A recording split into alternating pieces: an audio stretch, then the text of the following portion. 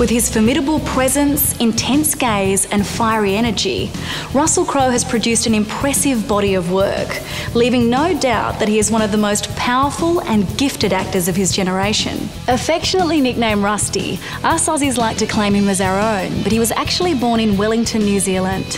When he was four, his parents moved to Sydney and worked as caterers on film sets. They often took Russell with them to work, which gave him a great understanding of what making movies was all about. If you went to the cinema, you enjoyed the experience, you know, you got wrapped up in the story. That's what it's supposed to be about, right? It turns out that Russ didn't always want to be a film star. At 16, he dropped out of school, took on the stage name Russ Le Roq, and played in bands until he was 21. Ironically, his first single was called I Just Want to Be Like Marlon Brando. And true to his word, after limited musical success, he decided to pursue acting. A natural, he landed roles on the TV shows Neighbours and Police Rescue and appeared in the films The Crossing and Proof. His first big break came as the leader of a neo Nazi gang in the confronting Romper Stomper. His chilling and menacing performance won him an AFI award for Best Actor. Pretty good for a guy who's had no formal acting training. I've never been a tertiary educated performer, you know, and that is what method implies to me. I mean, that's what it all began with. It was like going to a school to learn somebody else's technique of how to be an actor. You know what I mean? Some Russian fellow, what's his name again? Boris something? No. Um, you know, who cares? I mean, acting is an instinctive talent. You either you, you can do it or you can't do it. His success in Romper Stomper led Russ straight to Hollywood. After seeing the film, Sharon Stone cast him in The Quick and the Dead, which led to roles in the sci fi thriller Virtuosity and LA Confidential. Then in 2000, Russ scored his first Oscar nomination for The Insider, cementing his status as a leading man. For me, there's not a better job. This is the, so this is a job I do. You know, I, it's only entertainment, and is it important in the scheme of things? Probably not. But um, I would rather be entertained by somebody who has put a lot of effort into entertaining me. Same way as I'd rather be entertained, you know, rather be you know operated on by a doctor who's concentrating on what they're doing too. You know. Who can forget Russell as the mighty Maximus seeking revenge in the epic blockbuster Gladiator, my favourite Russ movie? Playing such a heroic and passionate character, glory on the battlefield led to Oscar glory when he won the Best Actor Academy Award for his incredibly intense performance. And Russ certainly worked hard for it. Apart from the physicality of Gladiator, there was also the slight problem that we didn't have a script. So um, the journey, in terms of the complete journey for me, was just as cerebral. Big screen success led to constant media attention, a part of the job Russell does not enjoy. The actual job is very simple, and I, I enjoy that. You know, sitting in a room doing conversation after conversation with journalists about the same subject matter and answering the same question, that is when it gets paid. That's, you know, truly, I think, uh, damaging to your brain. Often depicted in the media as a difficult character, Russell became very frustrated and protective of his privacy. The press is the painful process. I mean, a lot of the stuff that I say, apparently, I've never said, so. Therefore, that gives license to the, the um, parasites to fill in the blanks, you know, and just make it up. Now an Oscar winning A list star, Russell had the pick of all the big blockbusters. Preferring to take on roles that interested and challenged him as an actor, he chose to play John Nash, a mathematical genius battling schizophrenia in a beautiful mind.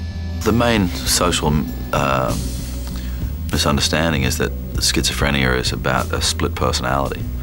Um, for example, Jim Carrey's movie Me, Myself, Irene, you know, which is great performance, but uh, not accurate to the disease. It really is about different planes of reality. So I suppose, in terms of being um, an actor, it is quite close. Um, in that you have the physical reality, and then you have, you know, a world that's only existent on an imagined plane. Although acting is Russell's biggest passion, his love of singing hasn't disappeared. In 1992, he formed the band 30 Odd Foot of Grunts, which unfortunately never really took off. But he's continued to dabble in music, collaborating with Alan Doyle from Great Big Sea and forming another band, The Ordinary Fear of God. Considered by many to have a feisty temper, Russell has gotten himself in the occasional scuffle, most notably in 2005 when he was arrested and charged for assault after throwing a phone at a New York hotel employee. But he put his fighting spirit to better use while also showing a gentler side in 2005's Cinderella Man, the true rags to riches comeback story of the struggling American heavyweight boxer Jim Braddock. He was simply a working class man, and that's the way he saw himself. And, and when you're from that background, you can have great success. Um, and the people that, that elevate you to that success in a way um, enjoy your success. But at the same time, I think Braddock always knew that he had a, a duty to remain who he was um, before he was a champion and when he was a champion after he was a champion. And uh, that really comes through in the way he lived his life. And I, I really like the way he, um, you know, loved his, his wife until the day he died and, and died in the house he'd bought from the winnings of uh, the heavyweight championship fight and how he'd watched his children grow up and, and his grandchildren being born. A sports fanatic, he's the co owner of his beloved NRL team, the South Sydney Rabbitohs. And in 2005, he advertised Cinderella Man on their jerseys, making them the first team in Australia to be sponsored by a film. Despite his many passions acting, singing, and sport Russell says his number one priority is his wife, Danielle Spencer, who he met on the set of The Crossing back in 1990, and their two gorgeous sons, Charles and Tennyson. On the big screen, Russ kept busy with roles in the Western 310 to Yuma, the action drama American Gangster, and thriller Body of Lies.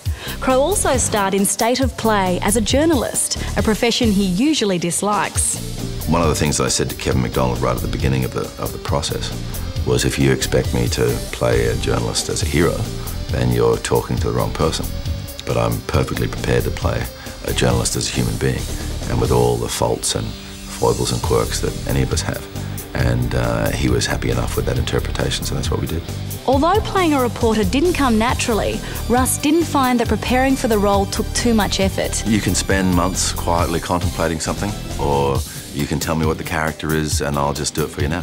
You know, I mean, that's the, the job. You need to be fluid like that, and you need, you know, um, if, uh, if you have to cry and the click of uh, your fingers, then you cry. If you have to laugh, you laugh. You know, it's just it's acting and it's all pretend. Now, if you spend a lot of time contemplating, a lot of time constructing, you can usually be at a deeper place when you begin.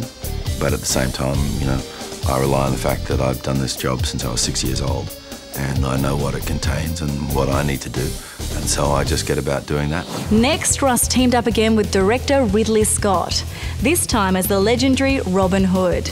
Together, they reworked this classic tale, showing us the man behind the myth who inspired others to take charge of their own destiny. There's no denying Russ's ability to deliver a memorable performance on the big screen, and this talent was acknowledged recently when he received one of the film world's biggest honours a star on the famous Hollywood Walk of Fame. An Oscar winning actor, passionate performer, and dedicated family man, Russell Crowe is a formidable talent. Through his many emotional performances, he has proved himself one of the most gifted actors of his generation and a force to be reckoned with. Stay tuned to Starpix for all of the movies you know and the actors you love, broadcasting glorious high definition with 5.1 surround sound where available.